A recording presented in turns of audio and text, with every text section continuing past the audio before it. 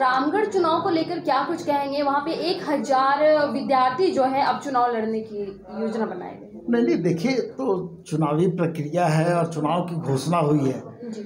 और लोकतंत्र की खूबसूरती यही है कि जो लोग भी चुनाव लड़ना चाहते हैं जो लोग उस क्राइटेरिया को फुलफिल करते हैं वो चुनाव लड़ सकते हैं। ना आप रोक सकती हैं किसी को चुनाव लड़ने से ना हम लोग रोक सकते हैं चुनाव लड़ने से। लेकिन ये महागठबंधन का ये सीट है महागठबंधन का ही रहेगा ये मैं आपको विश्वास दिलाता हूँ। आप लोग की पार्टी क्या कुछ तैयारी कर रही है नहीं तैयारी तो चुनाव को लेकर के जो तैयारी होती है वो तैयारी हो रही है।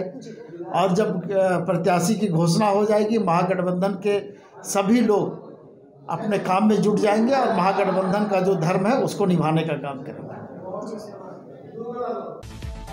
अपने राज्य से जुड़ी हर ताज़ा खबरों के लिए आप हमें सब्सक्राइब करें, साथ ही बेल आइकन बटन दबाना ना भूलें।